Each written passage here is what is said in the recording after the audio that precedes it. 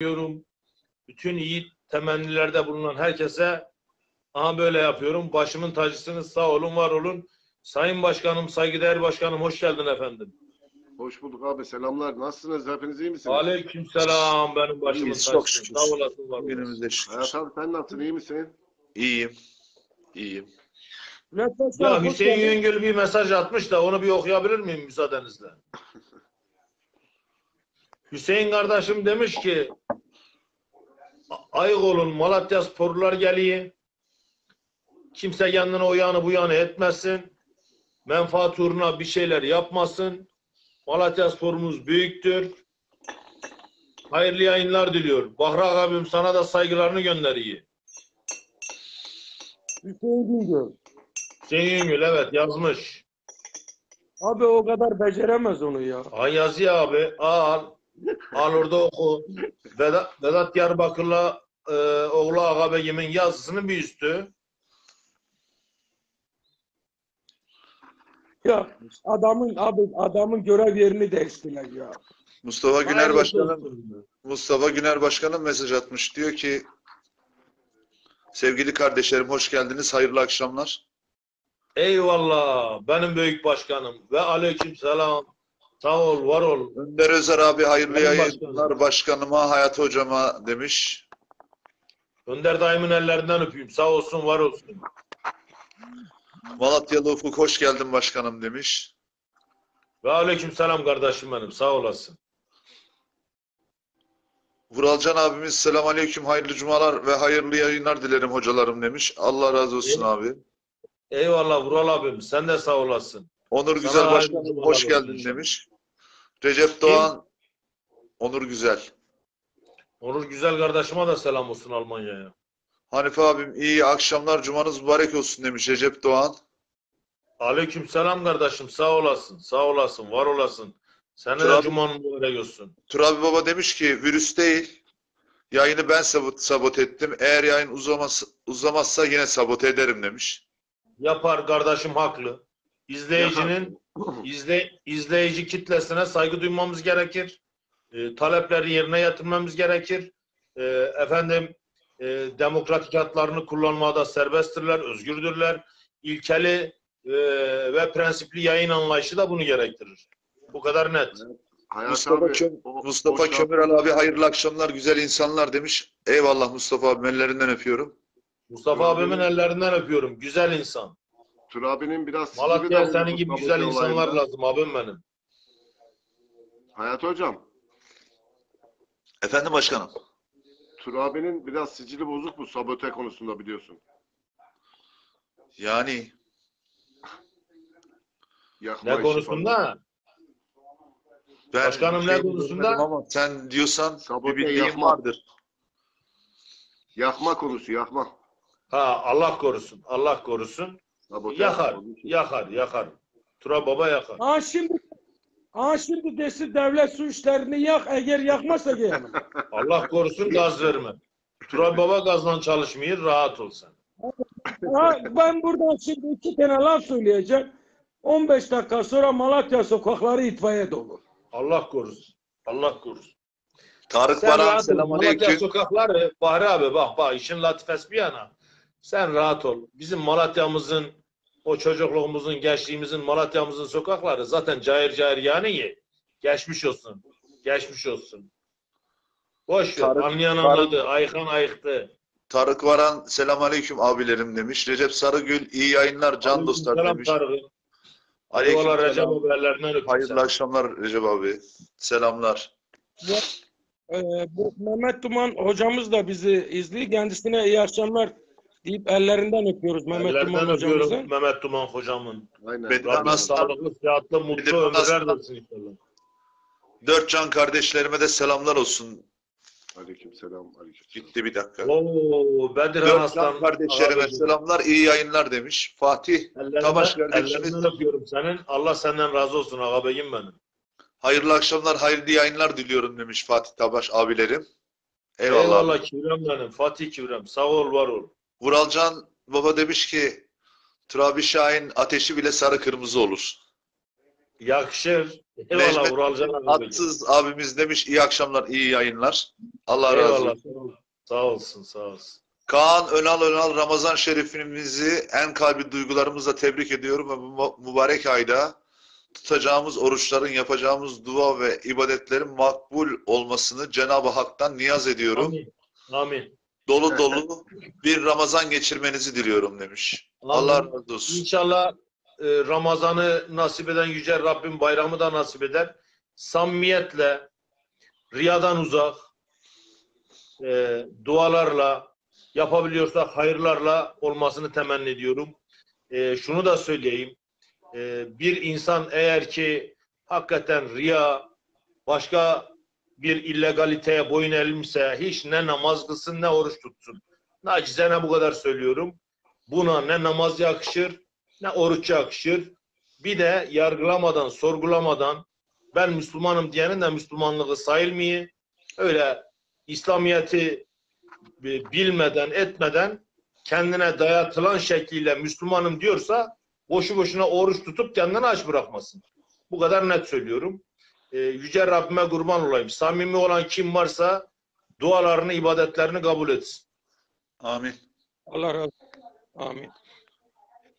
Şimdi Bülent Başkanım bu en son e, Yeşilyurt Spor Darıca maçının hakkında bir senden bir çünkü Hanifi Başkan Hanifi Başkanımla e, Hayati Hocam belki e, buradan canlı seyretmediler ama Yok, birebir, konuda- birebir senden dinledik ağabeyim. Takip ettik, dinledik. yani şimdi Bülent Başkanım Yeşilyurt Spor'da ne değişti acaba? Ee, bunu en iyi Hayati hocam söylemesi lazım. Yeşil Yusuf'a sanki böyle bir dinamiklik gelmiş ama e, dün o maçın alınması lazımdı. Pek iyi de görmedim. Bilmiyorum siz ne düşünüyorsunuz? Bir ümit var ama ne, ne olur ne olmaz onu kestiremiyorum şimdi.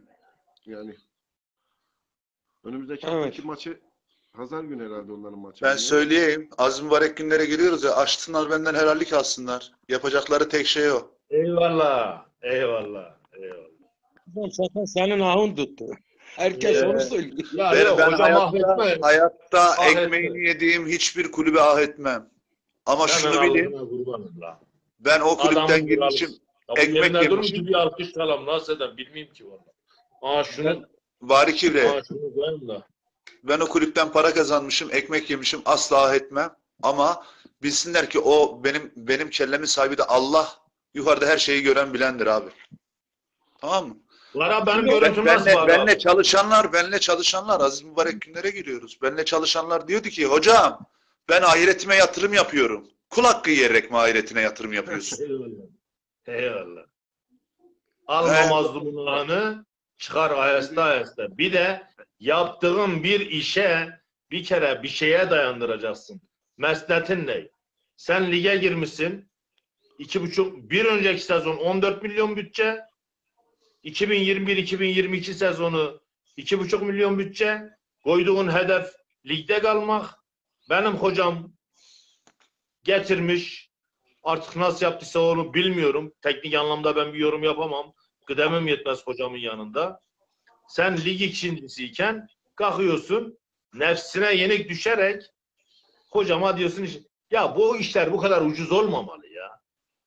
Futboldan anlamayan işte demiş ya bir tanesi o kulüpten ya Aziz Yiğit kim ya? Futboldan biri mi? Top oynamış mı diye kendi kendine bir şeyler söylemiş. Ya böyle adamlar Malatya'da spor kulübü yöneticiliği yapıyor. La kardeşim bir insanın işine son vermek, görevine son vermek bu kadar basit olmamalı. Gerekçelerin olmalı. Sen gerekçeli kararını sunarsın. Dersin ki hocam aha gerekçeli kararım bu. Hoca da der ki eyvallah kardeşim. Yöneticilerim ben kabul ettim. Hadi eyvallah. Öyle kendi nefsine, kendini tatmin edeceksin. Ya ben her zaman söylüyorum abi net. Kişiliği, karakteri oturmamış insanlardan yönetici olmaz. Yönetici dediğin insan toplum psikolojisini bilecek, insan psikolojisini bilecek. Üzerinde birçok e, sıfatı bulundurması gerekir. Güzel sıfatları bulundurması gerekir. E sen kalkmışsın, bir şey söylüyorsun. Karşına etki tepkiden kaynaklı bir refleksle bir e, durum görüyorsun. Ondan sonra ben senin göre bu kadar ucuz mu ya? Sen kimsin ya? Kimsin? Sen topu bomba diye alıp karakola götürensin yani. Bana kimse hikaye anlatmasın. Ha Yeşilyurt Belediyespor. Hocaya saygı duyuyorum. Gelen Yusuf Hoca'ya ve üstün başarılar diliyorum. O hocamıza, kardeşimize. İnşallah e, Malatya'mızın tabi yine söylüyorum tüy bitmemiş yetimin hakkı var orada. Bir e, şey var orada. Milli servet var. İnşallah ligde bırakır o hocamız. E, inanıyorum buna.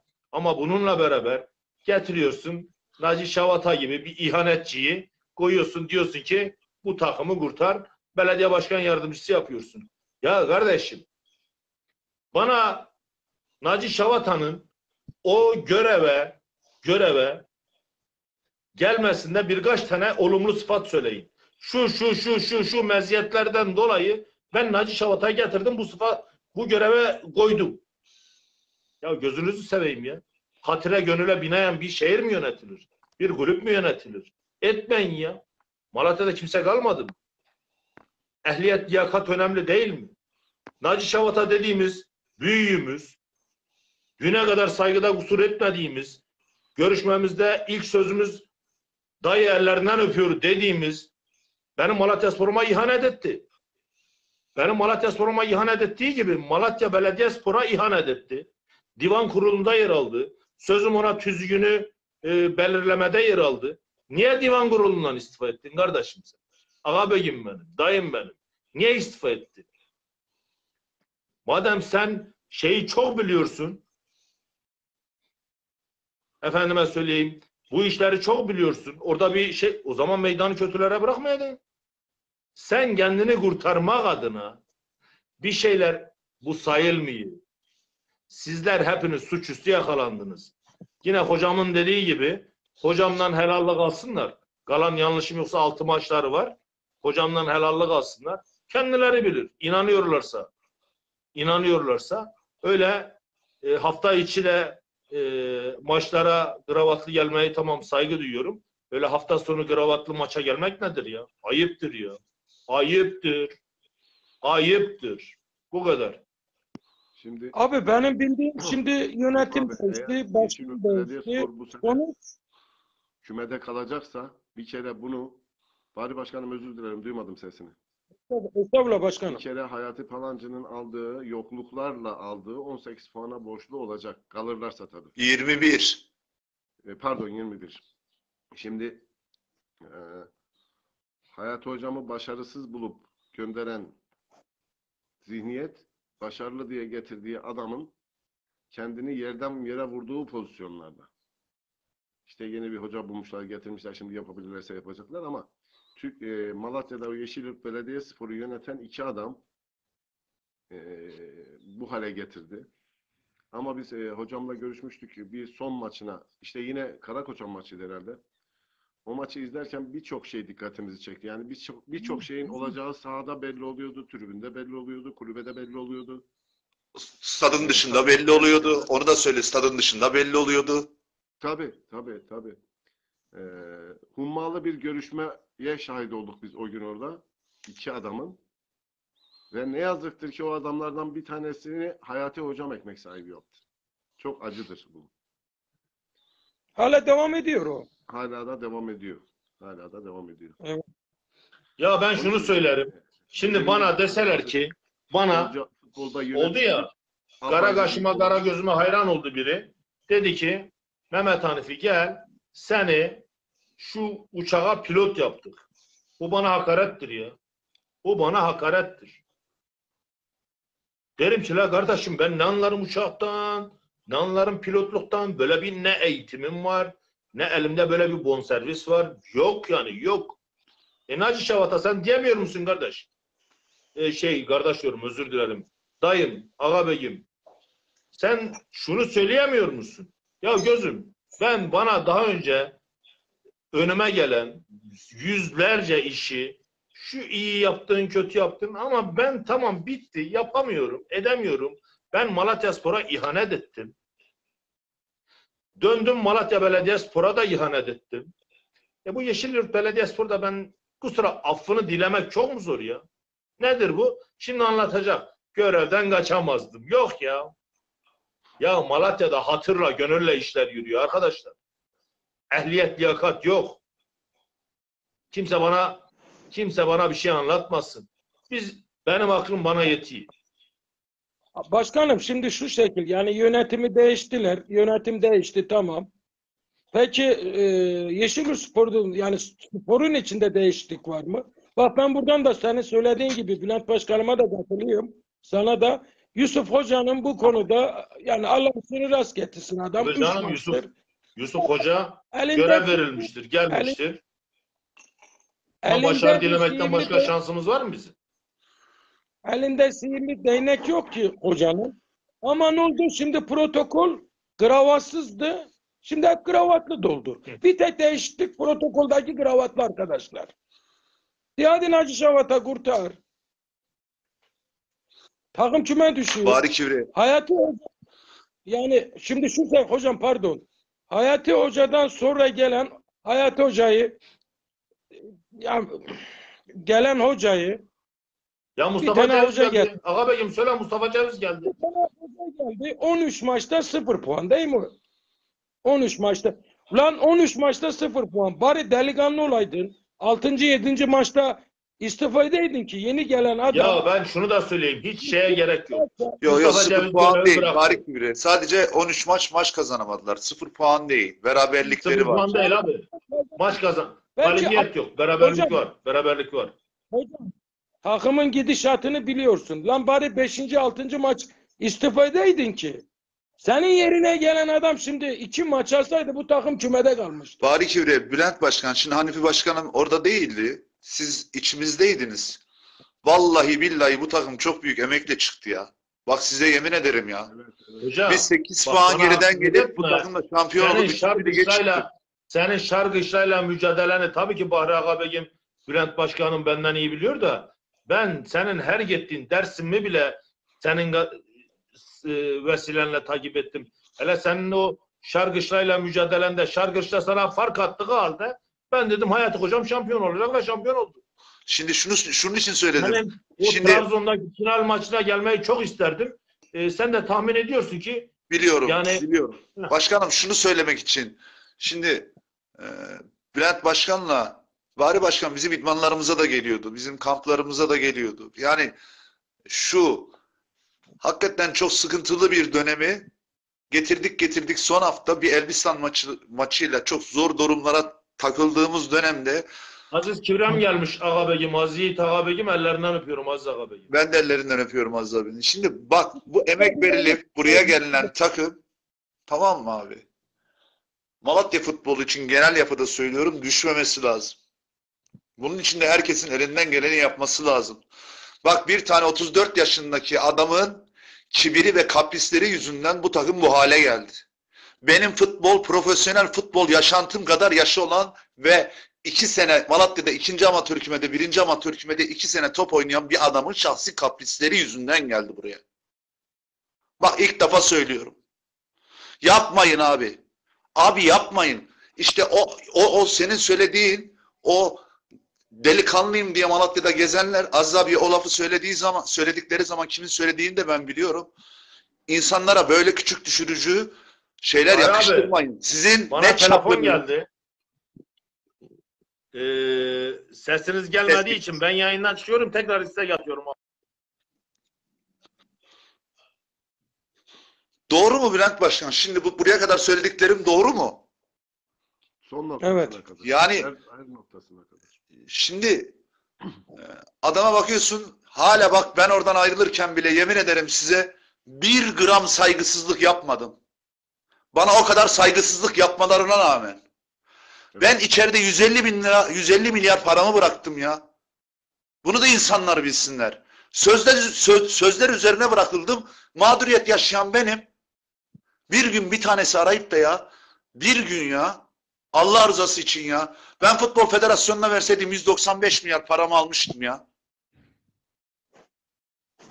Bu mu abi yaptığınız sizin?